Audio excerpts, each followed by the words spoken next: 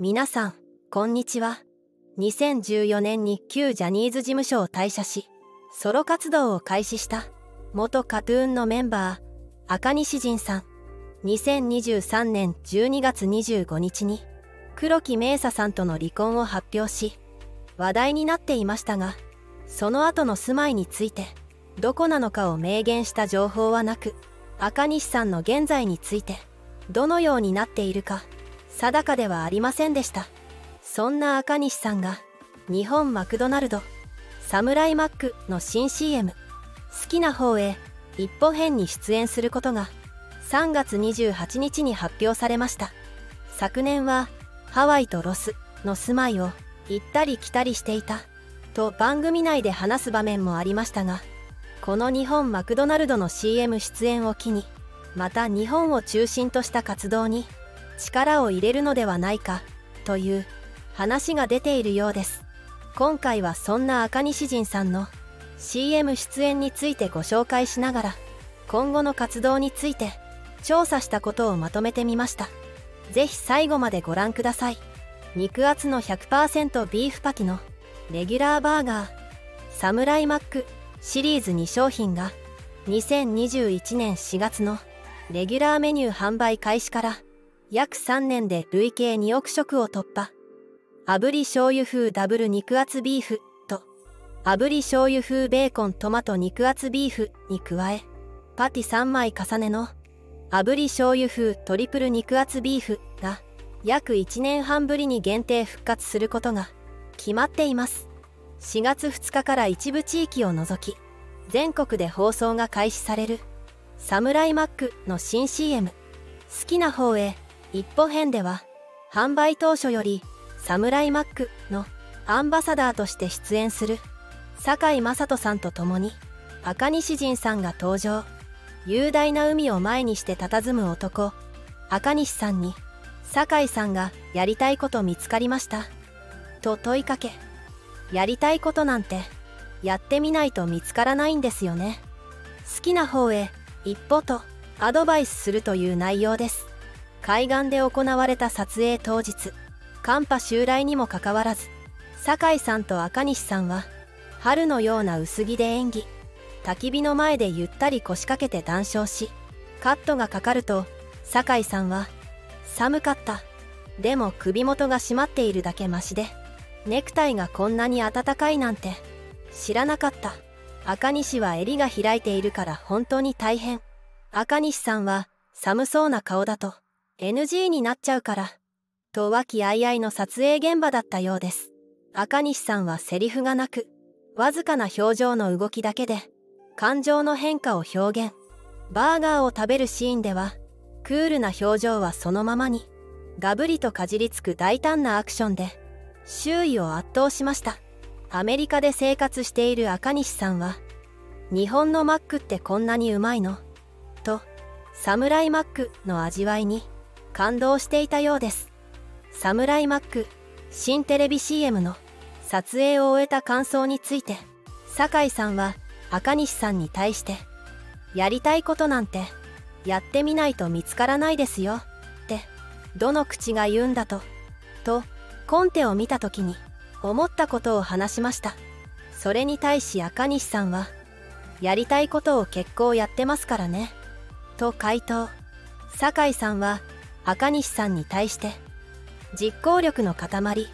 みたいなイメージを持っていたんですよ。だから赤西さんにどんな先輩面して言うかなと思っていました。赤西さんの中のもう一人の自分というか自問自答のもう一人の話し相手としてだったら演じられるかなと思っていたらちょっと遊びが入っているというかファンタジーな要素が少し入っていたのでそれで行こうと思って演じました。赤西さんは僕もやりたいことを結構やっちゃってるんでどうやって言おうかなみたいな。でも酒井さんがおっしゃっていたようにファンタジー要素があったので楽しくできました。と CM 撮影の様子を思い出しながら語りました。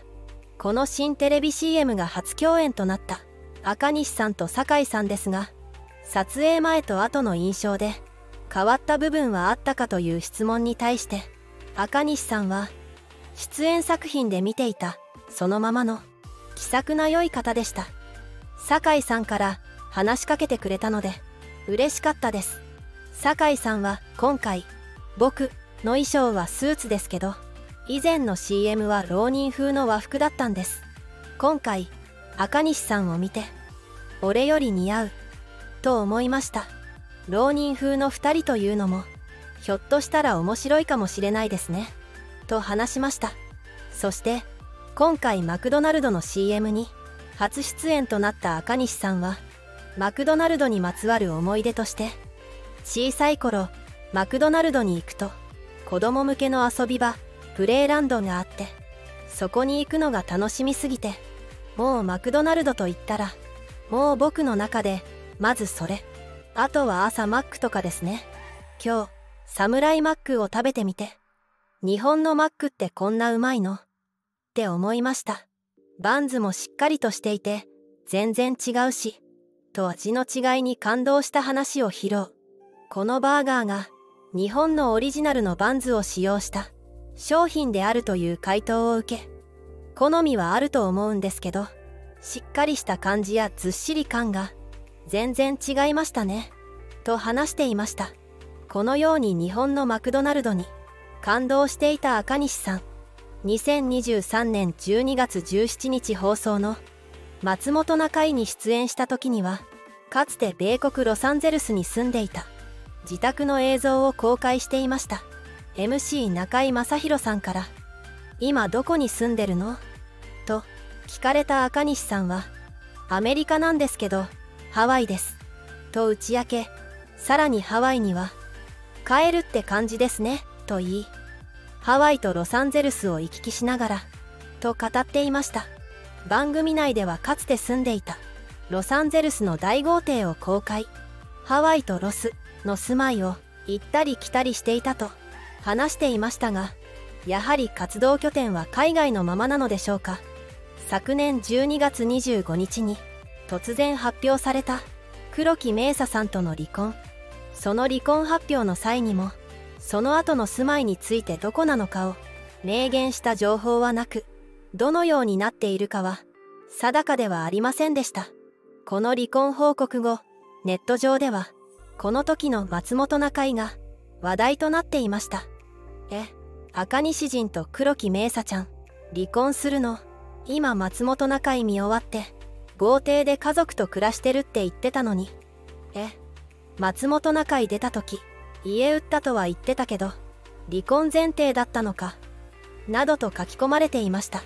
赤西さんと黒木さんは離婚理由としてこの先も家族が最優先であることに変わりはなく親として親友としてさらなる愛情を持って新たな形のパートナーシップを築いていきます。と報告しており円満離婚である旨を説明していました。それによりもしかすると黒木さんと子供たちと一緒に暮らしているのかもしれないという噂も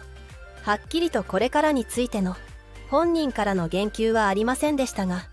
今回報じられたマクドナルド CM の出演で今後も日本での活躍をたくさん見られるのではないかと期待されているようで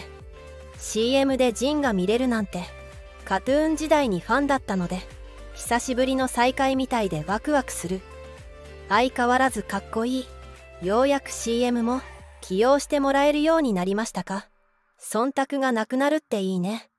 とのコメントが。しかし一方でキムタク下ろして岡田准一に赤西陣と続けてやめジャニ起用明らかに事務所やファンへの嫌がらせ。マクドナルドはやめジャニ起用そりゃ批判浴びるね。マクドナルドってなんでこんなに次々と CM に有名俳優使うの？コロコロ変わりすぎて逆に商品が印象に残らないんだけど。という批判もまだまだ旧ジャニーズ問題がついて回るテレビ業界。赤西さんの日本での活動が今後どうなっていくのか気になります。最後までご視聴いただきありがとうございます。コメントを残してくれると嬉しいです。チャンネル登録高評価もぜひお願いしますそれではまた。